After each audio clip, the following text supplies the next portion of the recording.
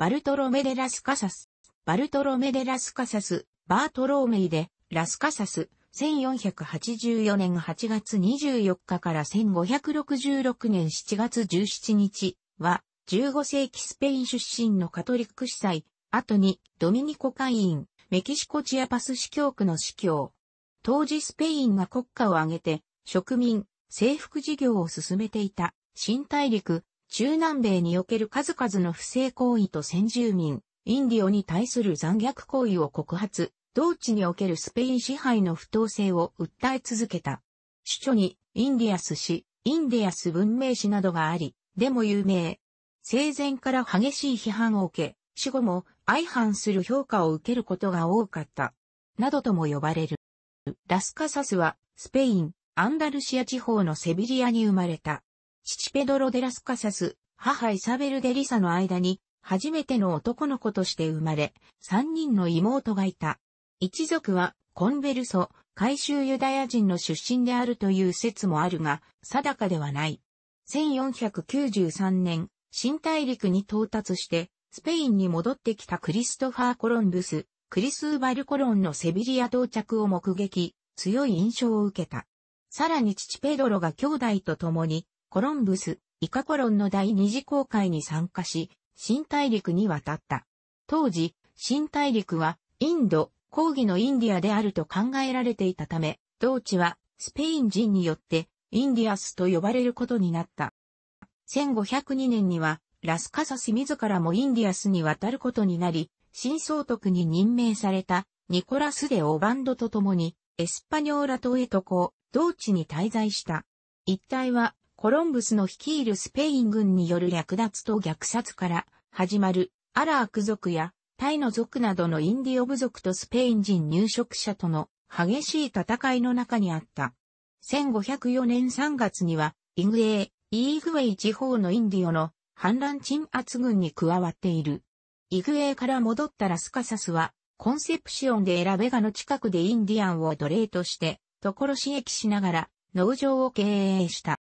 1506年、セビリアに戻ったラスカサスは、被災職を志して下級助会を受けた。1507年には、クリストーバル・コロンの息子ディエゴ・コロンのインディアスにおける特権回復の陳情のためローマ行き、そこで司祭に除会された。ディエゴの陳情活動は成功し、ディエゴはインディアス総督の任命を受けることができた。ディエゴとラスカサスは1510年にインディアスに戻り、ラスカサスは同地で初ミサを捧げた。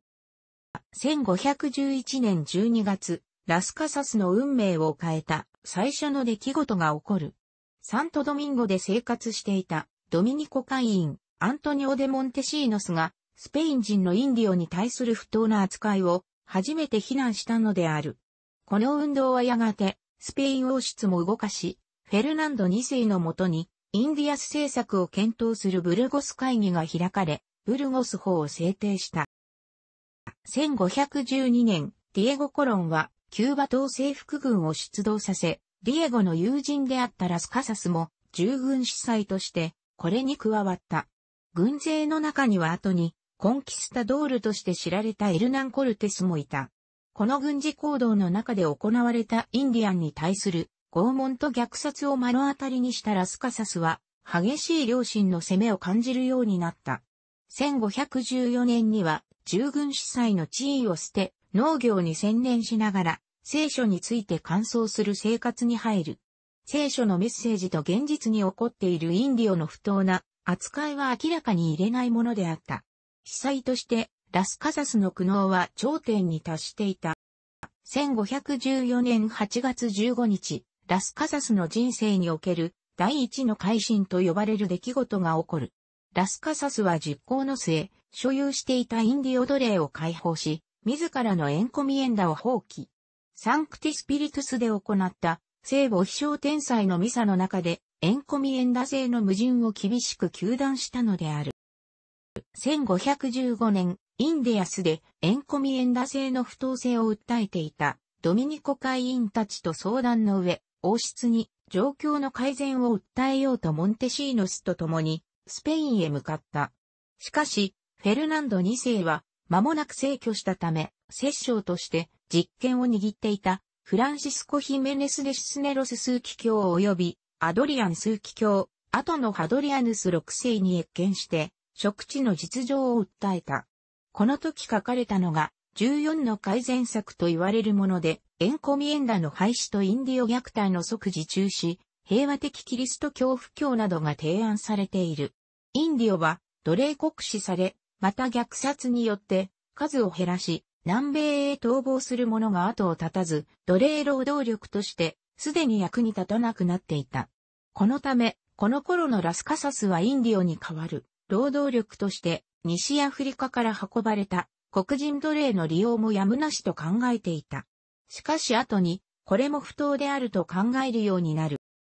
ラスカサスの提案により、シスネロス枢機卿の指示で、インディアス審議会が発足。インディアスへの調査団の派遣を決定した。調査団は、ヒエロニムス会の修道士たちによって構成されており、ラスカサスは、インディオ保護官という肩書きで現地に同行した。調査団は、忠実に職務を遂行したが、ラスカサスから見れば手ぬるいものであったため、間もなく乗車は対立することになった。調査団とラスカサスがスペインに戻ると、死期が近づいていた。シスネロス枢機卿はすでに牽制を失っており、間もなく死去した。仕方なくラスカサスは、新王カルロス一世、カール五世に謁見することにし、謁見許可を待つ間、ドミニコ会進学院において、法学、進学の知識を深めた。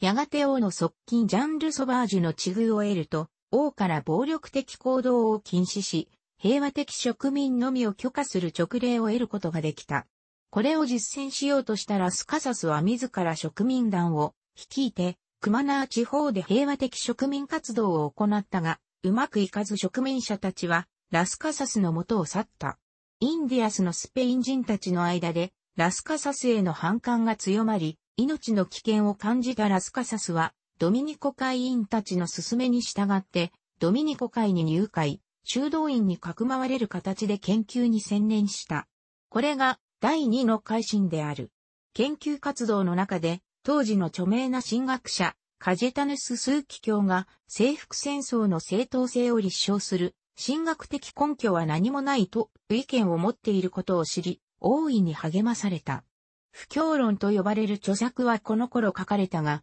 現在では一部分しか残っていない。1526年9月、インディアス事情に精通しているということで、ラスカサスはエスパニョーラ島に新しくできたドミニコ会修道院の院長任命を受けた。この頃、インディアス氏の執筆を始めているが、2年前の1524年には、すでにインディアス評議会は数期会議に格上げされており、王の直属機関となっていた。これは当時スペイン国内でインディアスの扱いについての関心が高まっていたこと、植民者たちの目に余る行為とインディオへの虐待を問題視する意見が強かったことを示している。ラスカサスはしきりに数期会議に書簡を送っては現状を報告していた。その後はインディアス各地で進められたインディオ征服を批判しながらインディオへの平和的布教に取り組んだ。ラスカサスの地道な啓蒙活動は、ヨーロッパにおいて徐々に評価されるようになっており、1537年には、教皇パウルス3世が、インディオの奴隷化を禁止する直令、スブリムスデウスを出してい。また、グアテマラからメキシコに赴いて、活発な活動を続けた。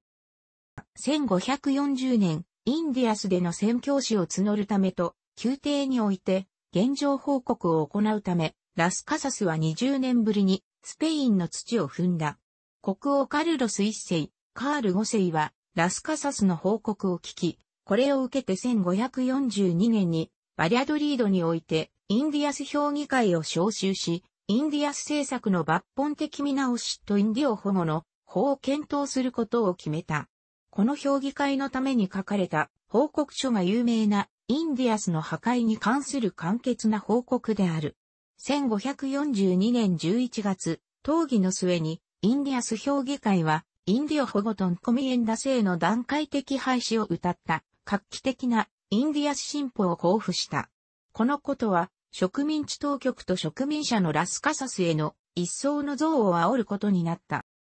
ラスカサスを宮廷から引き離そうとする反対者たちの画策と、インディアスにあって、現状の報告者になってほしいと願う支持者たちの意思の不思議な一致の結果として、ラスカサスはメキシコに設置されたチアパス司教区の初代司教に任命された。チアパスに着いたラスカサスは、司教として植民地当局に信奉に思考を厳しく求めたが、植民者たちの激しい抵抗を受けた。結局、植民地全体のスペイン人の反発によって、信奉の歌ったエンコミエンダ聖廃止は先送りになり、不完全なものとなってしまった。ラスカサスと植民者たちの間で繰り返された対立は、泥沼化し、なんとか打開策を見出そうとしたラスカサスは再び、スペイン行きを決意、メキシコを離れた。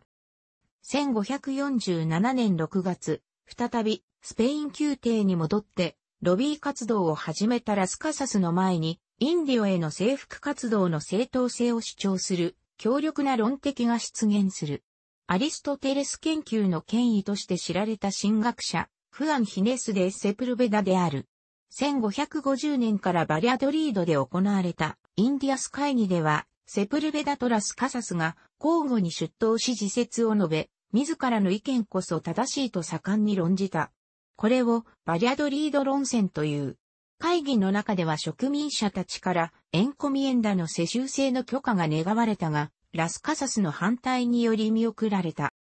1551年以降、ラスカサスはバリアドリードのドミニコ会進学院に腰を据えて、執筆活動と啓蒙活動に専念することを決意、チアパスの司教位を辞退した。進学院で執筆活動に専念していたこの時期、インディアス氏の資料として、コロンブスの第一次公開の日誌をまとめ、要約の形で書き写した。現在、コロンブスの第一次公開の資料は失われているため、ラスカサスによる、この要約のみが公開の様子を知る貴重な資料となっている。この後も継続的に執筆活動とインディアンの権利保護のロビー活動を続けた。この頃の著作では、自分が若き日にインディアスへの黒人奴隷の導入をやむなしとしたことへの開墾と奴隷制度自体の不当性を主張している。ラスカサスは今や全インディオの代弁者であった。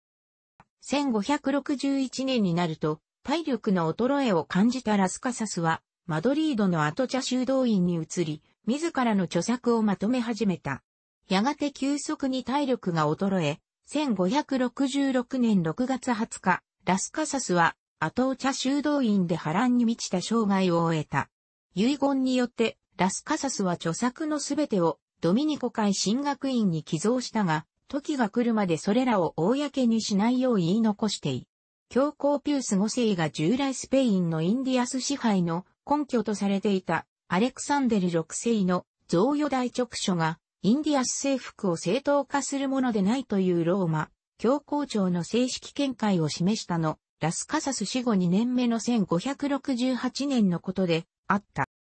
ラスカサスの死後、スペインのかつての勢いに陰りが見え始め、ラスカサスの著作は各国で盛んに翻訳され出版された。それらはラスカサスの全く意図しなかった用途、すなわち諸国によるスペイン批判の道具として利用されたのであった。スペインのインディアスにおける残虐性からスペイン全体の非人間性を攻撃する一連の批判はやがて黒い伝説と呼ばれるになり、スペイン国内でラスカサスは国の誇りを失墜させた男、祖国への裏切り者とみなされるようになった。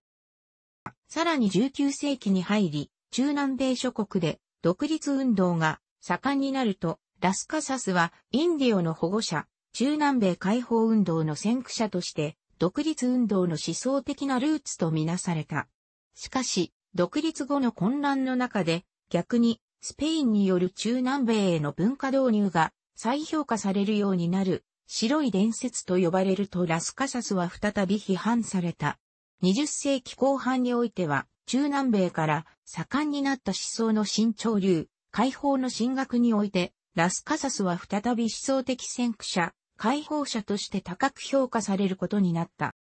ラスカサスは常に評価されると同時に批判されるという複雑な立場に置かれてきたが、ヨーロッパ中心主義がヨーロッパで常識であった時代にあって、その正当性に会議の目を向けた、先見性と異問題意識、自らの命の危険を顧みずに果敢に行動した勇気が高く評価できることは疑い得ない。楽しくご覧になりましたら、購読と良いです。クリックしてください。